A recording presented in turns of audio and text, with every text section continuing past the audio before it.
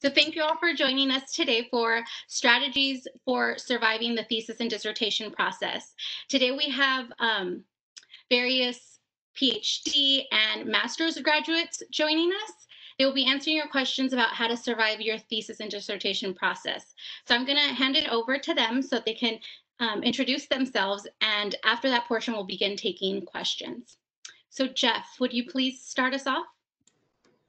Absolutely. Can everyone hear me? Okay, great. Uh, my name is Jeff Eggleston. Um, I graduated from UNLV in 2018 uh, with a PhD in interdisciplinary health sciences. Um, I am currently an assistant professor um, in the Department of Kinesiology at the University of Texas El Paso. Um, also, the lab director for the Stanley E. Fulton Gait Research and Movement Analysis Laboratory. Is there anything else you want me to say? Is that good? Okay. Good. Perfect. Thank you, Jen.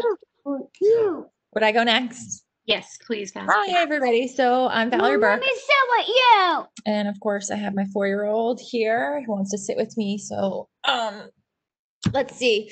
A lot of you might know me as the assistant dean of the graduate college, but um, I did get my PhD in sociology from UNLV. I graduated um, May of 19 and um, I'd been working throughout um, my entire uh, PhD career, so I can definitely show a little twist on how um, to incorporate getting everything done while working full time. And um, so I worked in the grad college, and now um, with that with the PhD. Um, actually opened up even more doors for me obviously to get a promotion to assistant dean um, and uh, working on a lot more research, um, grant writing, publications, and things like that. So I'm glad to be here with you guys. Thank you, Val. And we'll just go down to the next square over. Uh, Justin? Everybody hear me okay? Awesome. Hi, everybody. I'm Justin Lewis. I graduated in uh, winter of 2014 with a master's in applied economics and I'm currently um, a data analytics manager at Dish Network um, at their office in Denver. Cool. And last but not least, Yulia. Everybody, uh, I'm Yulia, and I graduated from UNLV with a PhD in clinical psychology. So I'm a clinical psychologist by training, currently working on my licensure um, I just finished my postdoc year, um, so that means I graduated last summer. Um, and uh, I just transitioned to a faculty appointment at the Medical University of South Carolina. Congratulations. So we did have a couple of students email in questions ahead of time while we wait for maybe um, just conversation to take its natural course. And if any questions do pop up, we'll be looking at those in the chat. So um, I know I can personally relate with um, a lot of our boot campers who are joining us today um, in the process of just, or rather the struggle to get the process started, right? I'm working on my proposal right now, and I had a large gap in between passing comps and, you know, restarting up that engine.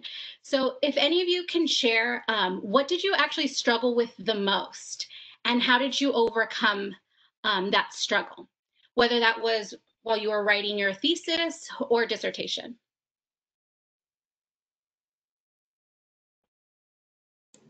Uh, I guess I can go first. Um, you know, I didn't write a traditional dissertation. Um, I wrote a multi-study dissertation, um, but the the challenge for me was trying to wrap all of those studies into a single discussion, um, into a single kind of what does this all mean? And I was lucky enough. At first, I didn't really have motivation, and then I was hired into my current position, and I, then I knew that I had to finish. Um, so that kind of provided me the the motivation. But it was really, you know, trying to connect all of those dots. And my studies were were related, but um, you know, I had to really think. Um, I guess more critically about how to connect it all so that everyone can really understand kind of the breadth and, and the importance of what I was trying to do.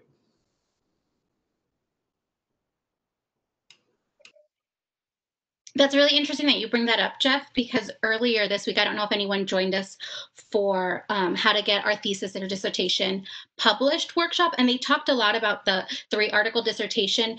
The biggest challenge being connecting the dots between um, your three studies. So that's interesting that like now we're almost connecting the dots between two different workshops, right? That that was something that you struggled with, and that was a piece of advice um, that I really took away from that talk, right? And that was that before you even get started, make sure you have that connection between all studies.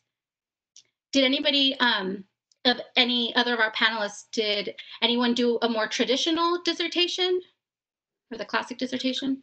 Yeah, I did. Um, I, so in clinical psychology, we, it's a doctorate program, but we still get a master's on the way, like I'm sure some other programs do as well. So somewhere between year two and three, I defended my thesis um, and actually ended up publishing it, um, actually having two publications um, for my thesis, which was pretty cool. Um, and then my dissertation pretty much started on my dissertation right away.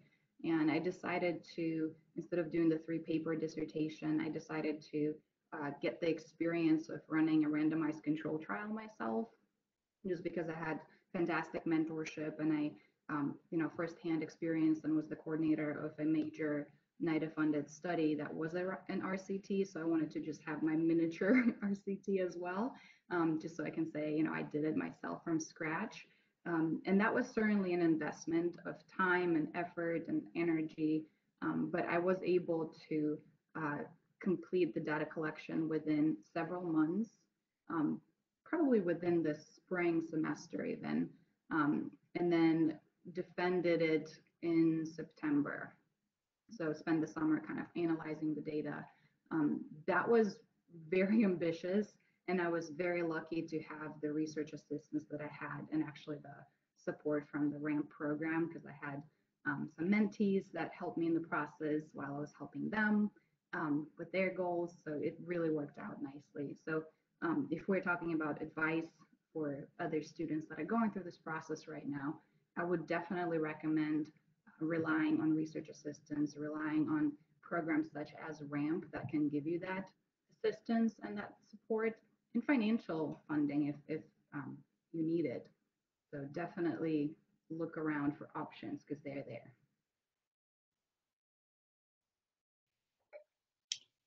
Thanks, Julia. Justin, were there any um, particular things that you remember or recall that you struggled with during the thesis, um, you're writing your thesis? Yeah, so one of the things that was kind of a fun challenge, but also was stressful at times was, you know, trying to figure out if the data source that I had come up with to to investigate was actually going to be able to bear any fruit or not, or if it was just going to be, you know, something that really didn't provide any insight. And then I would be, you know, two thirds of the way through the summer and, oh, there's really nothing, there's really not much of a conclusion here, or it's, it's kind of just noisy. so I was always like, okay, I really hope there's something here. Um, so the challenging piece was taking data that was really like qualitative for the most part. It was a lot like a, a big series of like short written reports of like um, incidences. Basically, I was looking at instances of um, piracy or armed robbery out on the ocean, and there'd be these reports that would you know describe what happened, and then it would be like, okay, how do I read those reports and classify you know characteristics of them in some kind of like consistent, systematic way so that I can turn those into data points. And it ended up, you know, being a lot of, you know, zeros and ones and twos, or it means this if this happened, and et cetera, et cetera. But, and I, I kind of had to figure that out as I went along, where I was like, what's actually in all of these, and what are the different, you know, characteristics of what I'm looking at. So uh, that was definitely a challenge, um, but it, but it was also a lot of fun. Um, I definitely as far as like um, Julio, you mentioned like some of the resources and taking advantage of those. One of the best things that I did was um, uh, got some funding to go to a conference uh, during the summer where I was writing the thesis. uh, kind of towards the end of it where I had sort of like a, a draft of it and being able to go and get, you know, specific feedback from people in that like specific subdiscipline that I was doing research in was, you know, super valuable and, and UNLV was incredibly helpful with, you know, helping make that possible. It was, it definitely helped me to um, minimize the number of surprises that I would have when I, you know, started diving deep into it with my, you know, advisors and my reviewers as we got further down the line. Yeah, I think a lot of us can um, relate to being nervous about not having substantial findings, right? That's um, and that's right when we're in the middle of our thesis or dissertation, right? So thanks for being honest and transparent about that, Justin. Um, Dr. John Luepo now joined us. Um, we did introductions a little bit earlier, but we're happy to have you now. Could you um, introduce yourself, John? We're glad to have you. Hi, can you hear me? Oh, okay. Hi, my name is John. Um, it's good to be here. Sorry, I'm late. I I'm still adapting. I moved to the East Coast, so um the time difference stuff, I'm still getting confused. So pardon my lateness. Um, but it's good to be here. Thank you so much. And um, if you can share with everyone your uh, area of discipline. Okay, yeah. So um, I finished my PhD in public health from UNLV. Yeah, so I did um, with a concentration in global health and environmental health. Great. So we do have a couple of questions coming in. Yulia, um, one of our students asked, can you expand on your RAMP experience and exactly what is RAMP? RAMP is the Rebel Mentor, let's see, Valerie, I'm being tested. Rebel Research and Mentorship Program. Yes, there you go. Um, so it's a program, uh, I believe the inaugural year was 2017, um, which is when I first joined.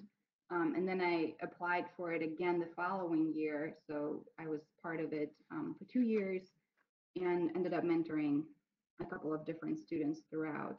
Um, this is the program that's available through the graduate college, and Valerie can speak more to it. I'm sure it's still going because it was a wonderful program and it provided um, research support um, in the sense of having a dedicated research assistant uh, who is assigned to you, who you're mentoring. Typically, it's somebody either through your college or through your department, or in my case, it was somebody from my research lab, um, somebody who I would be working with anyway, but that allowed me to focus on kind of more one-on-one mentorship with them.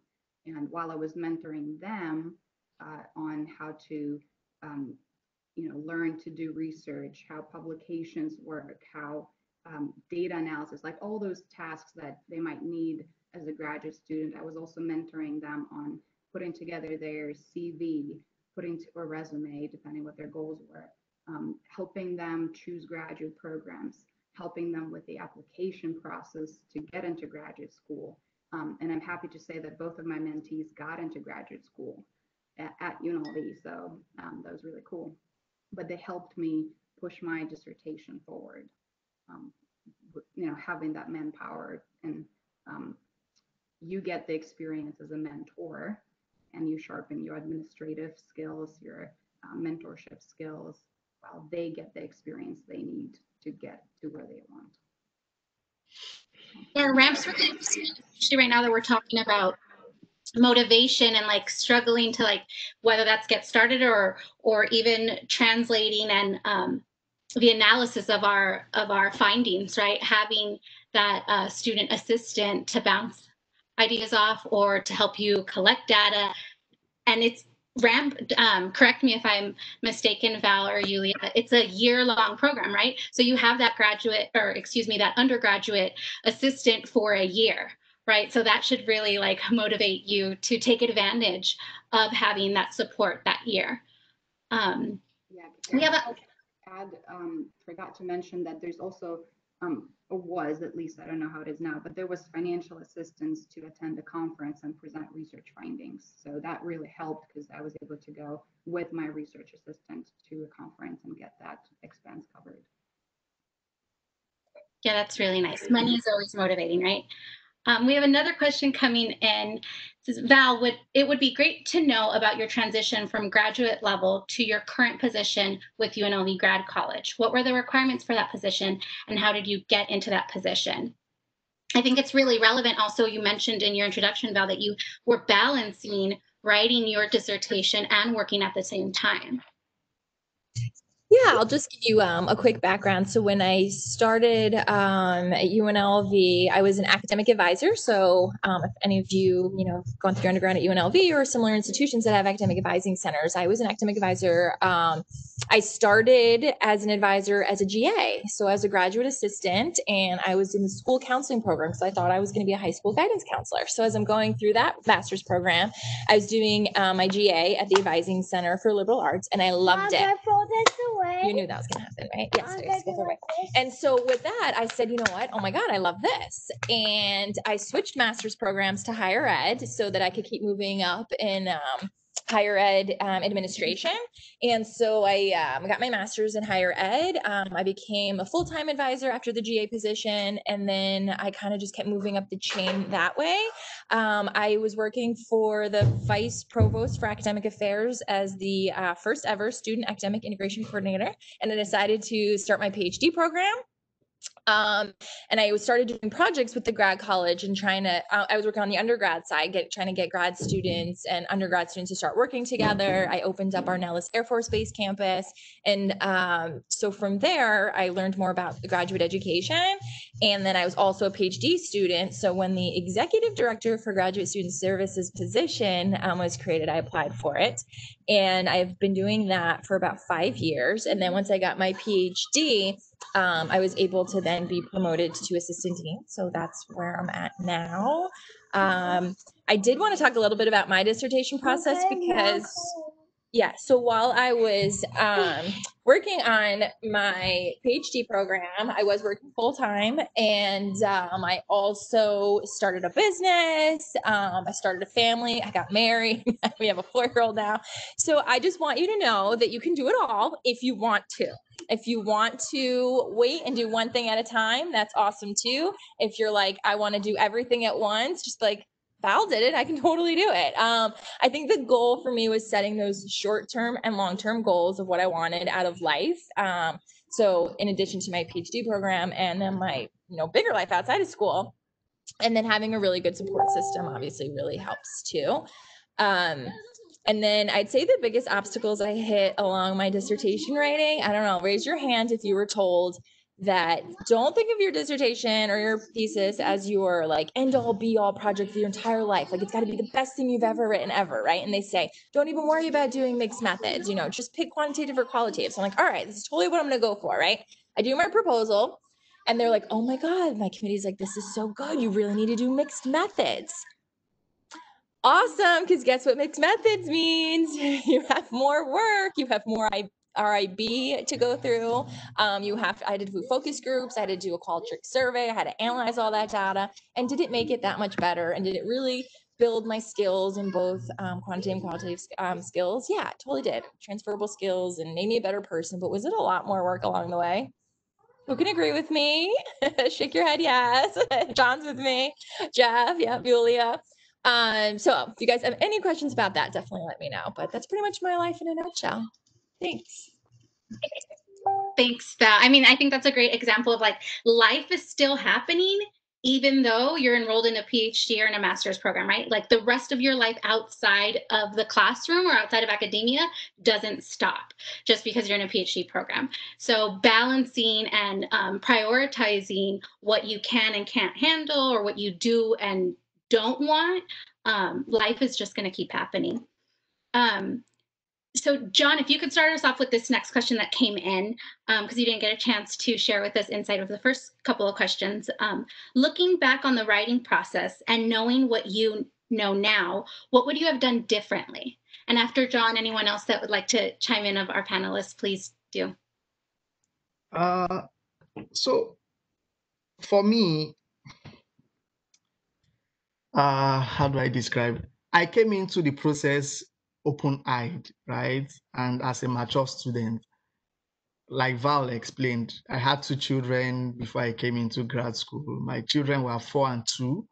So I came here with my family. I knew um, it was, I wanted to face the project squarely. So I was a full-time student for three years no other distraction. I just focused and got, got stuff, the stuff I wanted to do, I got it done. Uh, the writing process, I, I came into it with a project management mindset. So I already knew what I wanted to do. But like Val said, something that happened along the way, I did a mixed method too. So what I did was to make sure I had enough time, right? I actually dedicated like a whole semester, I collected all my data, right? And a whole year I dedicated to writing. That was what I did, right? Most people dedicated once dedicate one semester to writing. I dedicated a whole year to writing. So practically my final year, I had collect by the summer of my second year, I had collected all my data, right? So my last year, my third year, I was just writing.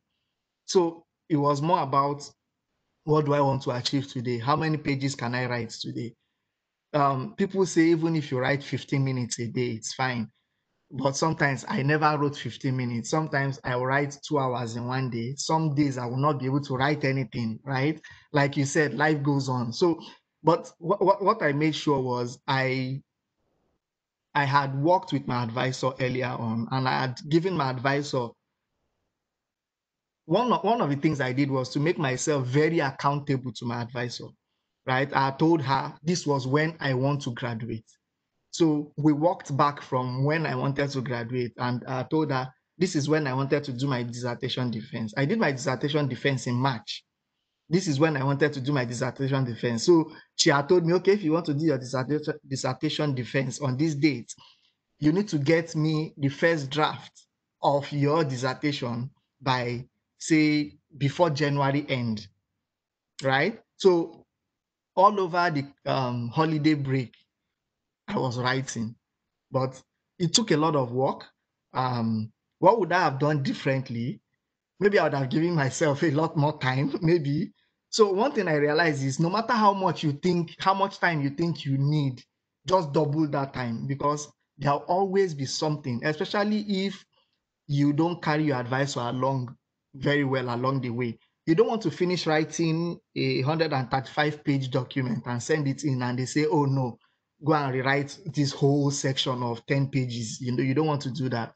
So I was lucky. I carried my advisor along and things went smoothly when I gave her the first draft. She made only very few corrections and I was ready to go.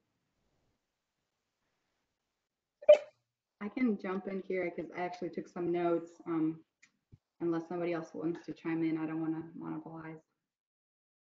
Good. Okay. So um, my thesis, I would say, is was the first project from which I learned what I wanted to do different from my dissertation. So my dissertation process, I wouldn't have done anything different because I already learned from my mistakes during my thesis. So the mistakes I would say were stretching it out for too long and overthinking it. I picked a topic that was way too ambitious, I think, for a thesis.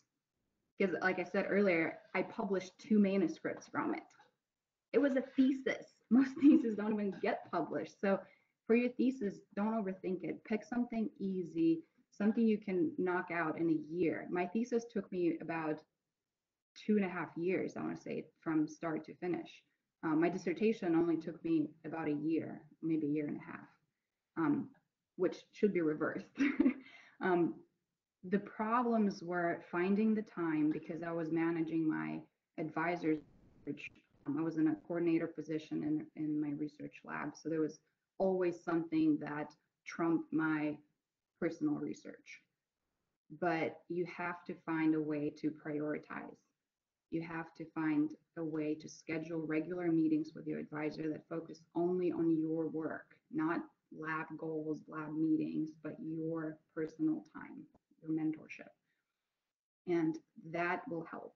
Um, some other tips that I can recommend um, is if you have senior um, graduate students in your lab or in your program, ask them for their templates. Uh, I've done it with my students um, in my program when I defended my dissertation. Um, one of the professors who was on my committee reached out to me and said, is that okay if I use your dissertation? Because um, he really enjoyed it um, and said it was well done. He asked, can I use it as a model for my students in my lab? And I was happy, of course, to share. And I would share it with more people if I could. Um, so definitely ask around and get a model, get a template. So you don't have to reinvent the bicycle because it's already been created. You don't need to overthink this process. Um, and graduate college has some templates as well, but I found asking within my lab and within my program to be a better strategy just because different departments, different mentors have a different style of how they want you to write your dissertation or your thesis. Um, set deadlines, that's another one. With my thesis, I kind of procrastinated a lot. Um, there was a lot of fluff in my writing. I just didn't know which direction to go. Um, but as soon as you set some deadlines, like you have to finish it by this date because you have your proposal scheduled on that date, you're gonna you're gonna work much harder. So set some deadlines. They can be phantom deadlines, they can be actual deadlines, but that seems to work because you will be more motivated. Um, also, take care of yourself. That cannot be emphasized enough because we forget to take care of our, our own well-being and mental health because we're working so hard and we have goals and ambitions. So take the time to take care of yourself and sleep. Do something nice for yourself. Take a day off. Connect with people outside of your program. Have a life outside of your program. Something that will help you to prevent burnout. Also, kind of going along with that, learn to say no. So how many people can relate with that one where you just take on everything and then you're drowning? So learn to say no to some of the things. Prioritize what's important to you, what's going to help you in your career or your studies. And other things, just say, no, I can't do this. I only have so much time. And it's okay. But that one I only learned when I got to my residency, um, which I did at Brown Medical School. That's when I said no. I felt like I was in a position to say no finally. Um, also avoid comparisons. Other students will be, there will be students that will be ahead of you. Um, they might be the same year in your program, but they will be far ahead in their dissertations and theses. And it's not fair to compare because they might have a different advisor style. They might have different responsibilities. They might have less on their plate. They might have the same amount on their plate, but maybe they're just anxious and want to get everything done and you're more chill and you procrastinate. It just don't compare because that's just going to cause more stress and, and panic. Um, one of my committee members told me something one time that really stuck with me, and I'm going to give you this quote. Um, this is from Dr. Freeman, Andrew Freeman. So shout out to Andrew. Um, he said, a good dissertation is a done dissertation. so just just do it, get it done. Um, I could have made my dissertation a lot more complicated and I wanted to, but then when he said that, I was like, this is just a building block towards bigger, more important things. Just get it done. So I know John touched on this a little bit, um, and you didn't have personal experience with this specific question, but um, one student asked, what are some suggestions uh, you have for dealing with um, a lot of feedback after your first draft, perhaps, um, especially when it feels overwhelming? Uh, so for me, like I said, I, I, I, I think I'm one of the lucky few uh, I had an outstanding advisor, right? My advisor was Dr. Jennifer Farr. And from the get go, she guided me and she let me pick my topic. I picked something I really wanted to do. I wasn't doing something she wanted me to do, right? Now, because of that, I was able to structure my dissertation the direction I wanted it to go. I got my data myself. I didn't use hard data, right?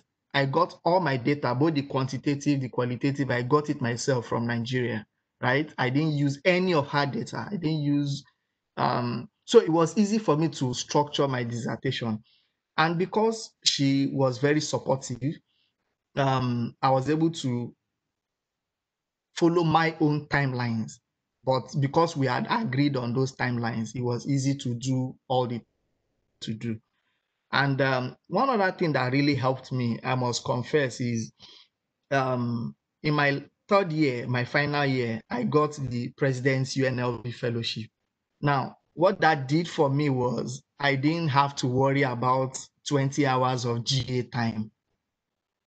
So I was able to use all my time and focus on my own work. And what that helped me to do was I was even able to teach part time as a part-time instructor in my um, in the School of Public Health, and that was 10 hours. So somehow, I, I think it just worked out for me um, uh, in a very good direction in terms of structuring what I wanted to do at what time and having a very supportive advisor. Uh, do you mind if I answer all the other questions directed to me on this chat?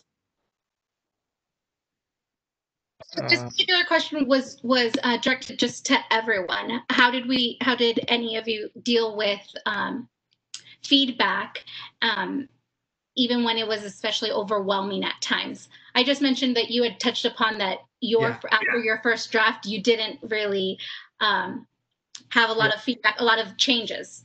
yeah that so, So I, I the major reason why is because i had an advisor and we worked step by step we followed each step and worked closely together so that was why i didn't have too many feedbacks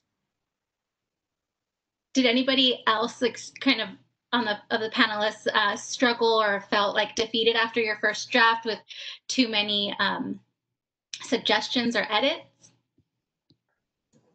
Um, so I think that, you know, going along with John said, um, as long as your mentorship is good, um, it really kind of eases that burden. Um, as a faculty member now, um, I have three PhD students and a handful of master students. And the big thing that I tell them is that, you know, it's not personal because I feel like there are sometimes that we might have that emotional attachment to the baby that we've now put up to sacrifice essentially. Um, but that the edits and all of that, it's, it's not a personal um, attack on what you've done or what you've written or your writing is bad. Um, it's just, you know, we want to help you learn and we want to help you grow. Um, and with most of my students, I tell them, you know, you can look at the comments, you can look at the revisions, but take a few days, leave it in the email, and then come back and let's talk about it. Um, because I know that some of my students have been fairly overwhelmed with it. Um, I don't particularly care. I know that my writing was um, one of my weaker spots in terms of my skills, and I knew that was going to be the struggle for me. Um, so I knew that that was coming. Um, I knew that I was going to be standing and, and you know taking all of this criticism, and I, and I was fine with that. Um, but for others who maybe may not be used to it, you know, it's it's just that's part of the of growth uh, of learning to be a scientist is learning how to communicate what it is that we do. And for some of us, that was harder. For others, um, you know, it, it comes a, a little bit more naturally. But it's again, it's just part of growing and learning. Thanks, Jeff. Um, some students are asking if you all can share specifically um, what your dissertation or thesis topics were. Um, and I'll add on to that one from a previous question as well. Any resources um, that you kind of want to highlight that were really helpful as well. So if everyone can answer this question, actually, please. Your Um, topic and resources. Jessica, is that okay if I um, just comment on the one before? Uh, Yes, please. a, a lot of feedback is better than not enough feedback. So you're lucky. I'll tell you that. Um, one of the resources that helped me was the writing groups. Um, my department Um, and actually, the graduate college did host some workshops for the writing, um, writing workshops, writing boot camps. Um, we had regular meetings where we met with um, smaller groups and provided each other feedback, and it was very targeted. You would only potentially get like 15, 20 minutes of revisions and feedback. So your team might only get through like two or three pages of your writing, but the feedback is very targeted based on what you ask them to do or to look for. And the, um, I blanking on the name, the graduate, um, is it the graduate college or the the writing lab or what do they call it? Right, writing center. Um, is it called the writing center? Yes, the right. I remember now. Yeah, I I took advantage of that too. Um, I met with the um, at that point the director of the writing center and um, worked on my dissertation um, for several weeks, like hand by hand with her, because English is my second language, and that was very important to me to get it right. Um, that was very helpful.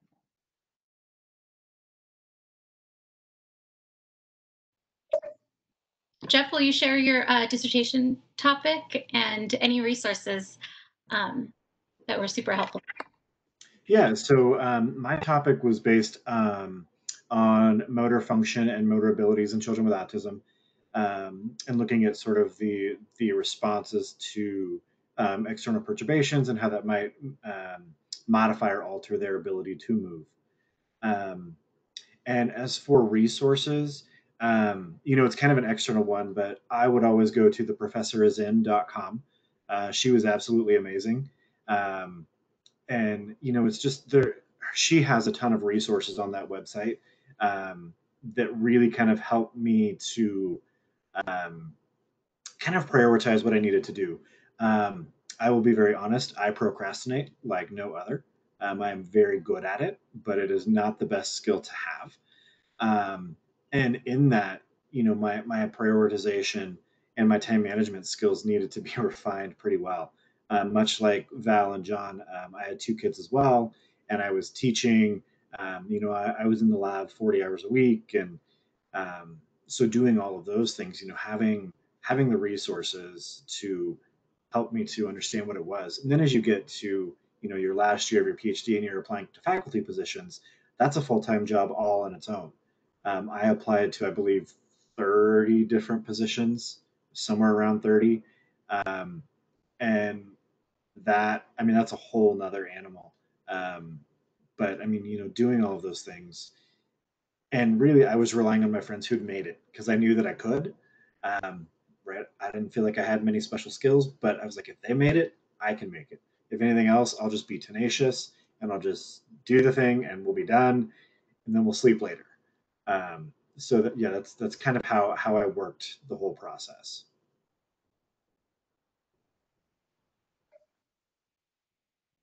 Justin, will you share with us your um, thesis topic and any resources that you recall were super beneficial? Yeah, of course.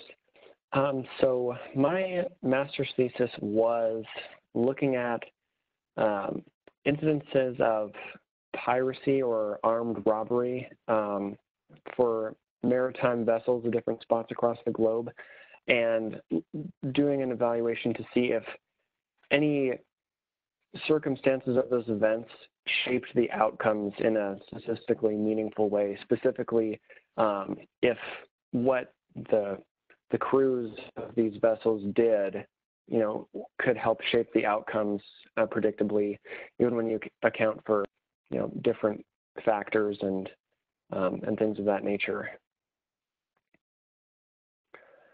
Um, and so, as far as resources went, um, I spent just a ton of time in the um, the computing center at the Lied library. It was like up on the second floor.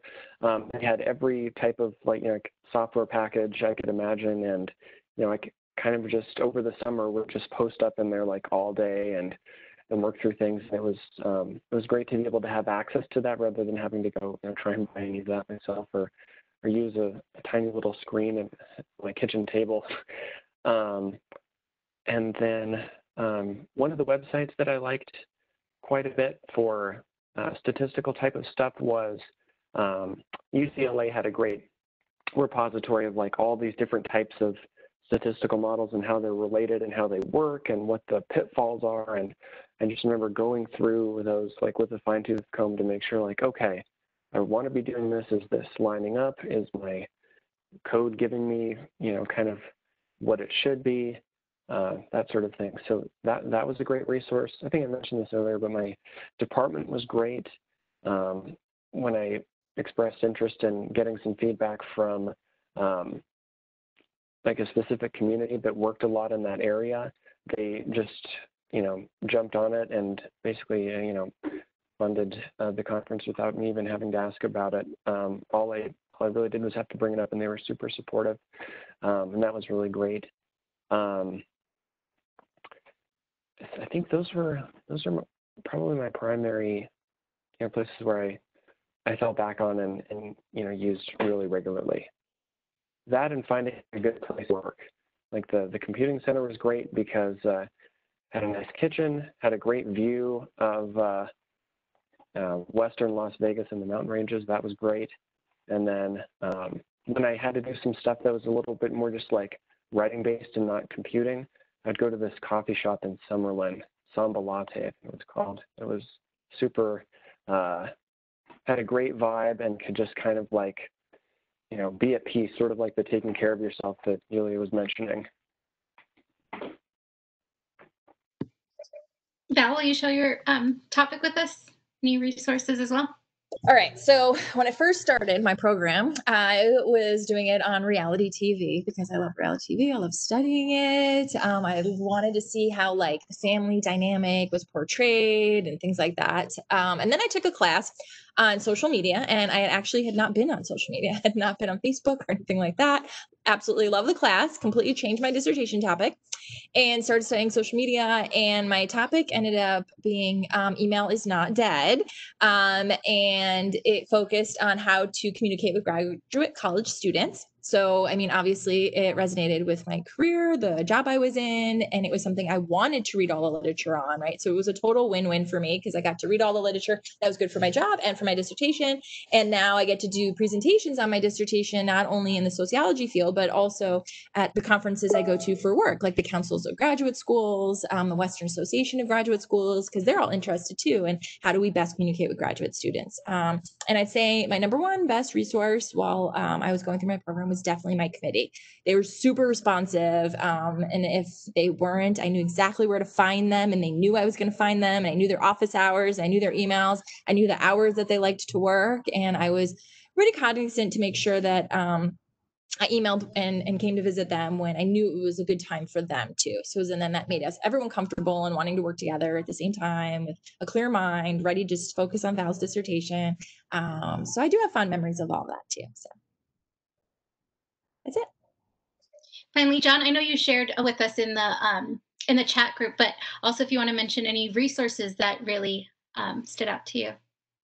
So um, I think uh, my the major resources were my committee. Um, so what is because I was doing a mixed method study. Jeff said he said writing was not his strong skill. For me, it was statistics I have never liked it till now. I still don't like it, right? So when I was forming my committee, I was very strategic. I made sure I had a biostatistician on my committee, right? So to help me with the quantitative piece, I made sure I had a qualitative researcher on my committee, right? And my advisor was now the mixed method person. So because I had those three people, I could easily go to any of them especially whenever I got statistically confused, I could go to Dr. Cross and he could help me walk through some of the models that I was trying to work uh, to develop for my dissertation. So my committee was my major resource, really. Okay.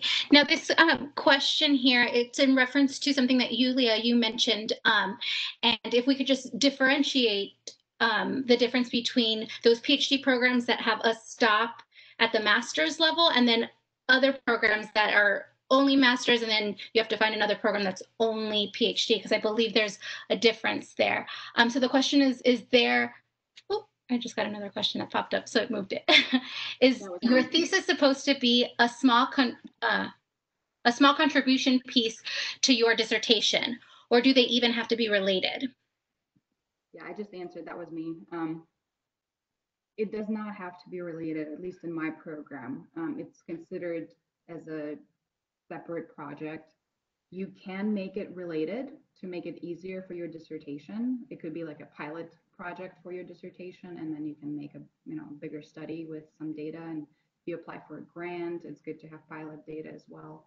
Um, but in my program, clinical psych PhD, it did not have to be related.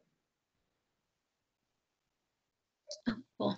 Well, thank you for answering that, Yulia. And looks like um, Bianca's in the same program as you, so that's exciting um, and super helpful, right? Like the advice is uh, really applicable. Um, so we have just a couple of minutes. So to wrap up, I, I just kind of wanted to ask all of our panelists, is there anything that specifically that you would like to share um, with our boot campers? Uh, I think that one of the, I think it's been said before, um, I think it was Yulia mentioned it, you know, your dissertation or your thesis is not your career. Um, and the, it kind of goes back to, you know, is the thesis a part of your dissertation? The way that I think about it is your thesis is about putting tools in your toolbox, right? So it doesn't have to necessarily be related, but you need to be able to gain some skill. Um, and so for me, it was trying to, how, how can I gain skill? What is it that I'm weak in? Um, what are what are my strengths? How can I capitalize on these things? Um, and that kind of that took some pretty deep reflection in terms of I thought I was good, I thought I was fantastic, but in reality, I was just me, right? So I had to figure out what it was that I was good at, what I wasn't good at, and once I was able to do that, um, I think that really sort of helped me to um, figure out what I needed to do where where does what what needs my focus and how how do I make that happen? Um, once I got there, um, I felt like I was doing pretty well, um, and I think that that really it took a lot of pressure off uh, because I wasn't still searching. I wasn't always trying. I wasn't fighting. I was just I was just able to do, and that was really really helpful.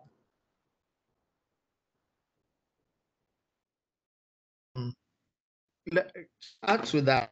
Eh, so there is something one of my mentors taught me very early when I started my PhD program. For those that are a bit more advanced in their PhD program, it may not be very helpful or in their master's program. But for those just starting, and one thing he taught me was for every class you take, right?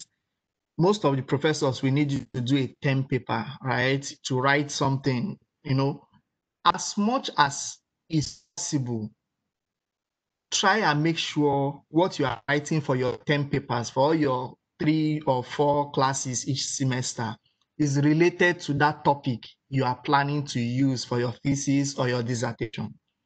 Now, if you can successfully do that over six courses, seven courses, eight courses, by the time you are getting to your or your thesis, I bet you you would have done, you would have nearly finished all your literature review for that topic. Now, what that is, it places you ahead. You are like two steps ahead. When most people are getting to their dissertation and they want to do their proposal, they are just starting their literature review. But you would have nearly finished your literature review because you would have used all your readings and writings from all those courses you did in your first year, second year. You'd have built on all that so that you understand the literature and you'll be able to hone in on where the gap is, which is what your research is supposed to focus on. So it's very helpful. For those that are just starting, if you can do that, your it will be very easy when you get into your proposal um, step. If that's okay, share um, a resource, um, not specific to writing your dissertation or thesis, but just getting through a PhD program or graduate program. Um, one of my lab mates, uh, Marina Galante, she started a blog and she kind of interviewed several of the um, former students that already graduated and collected feedback and advice, you know, how to survive your PhD. So I'm gonna send to chat and you guys can browse it and just some really great advice on kind of how to cope, how to get through tough times, how to anything really through going through this program. So check it out. Really just wanted to give her a shout out. Um, I know she worked very hard on putting this together. Um, and I know there was a question earlier about the resource. Um, the great things that you guys already said, of course, um, I, I ditto that, but also to add to um, these great things, find a statistician you can consult with um, if you are not fluent in stats.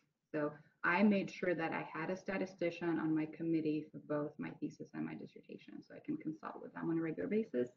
Um, and write a little bit every day.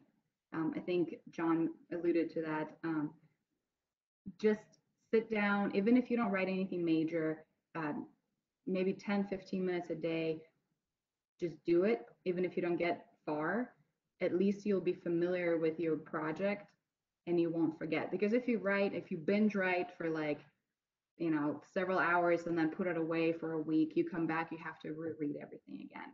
But if you keep a little bit at a time, it's going to be always on your mind. You're not going to forget. So, and the main resource is your mentor. Um, they are supposed to be there for you, and sometimes you need to advocate for yourself to get that time. But they are the person that is probably your best resource. And Val, any final thoughts? Yeah, I just want to let everyone know, right? So we have the Grad Commons in Lied Library, and then we also now have Grad Commons in Gateway in our new building. And so what Dean Korgan invested in was um, those um, those things you turn upside down, hourglasses, and they have sand in them. And so you're supposed to use them during your dissertation, right? So you flip it and you just write, write, write, write, write everything that you can get written down until you run out of sand right? And then you could take your break and then you can come back and you can even come and do it. Um, we're actually reopening the Gateway Commons and the one in Lied Library on August 24th. So let us know if you want to stop on by. Thanks, guys. Well, thank you so much to all of our panelists. I know all of our boot campers really appreciate your time. I personally do as well. It's super cool for me to hear and get like motivated as well. Um, a lot of advice was shared from time management, prioritize, don't overthink, set deadlines, meet regularly with your advisor. But one thing I'm really taking away, and I hope you all do as well, boot campers, is to grant yourself grace, avoid comparisons, and um, know that life is still happening. So even if we just write 15 minutes a day, um, slow and steady wins the race. So thank you, everyone. And sometimes I'll add to that. That was a really great summary. Sometimes your best ideas will come at times when you don't expect. I came up with my dissertation topic when I was jogging. So Thank you all. Thank you. Thanks, you guys. Take care. thank you.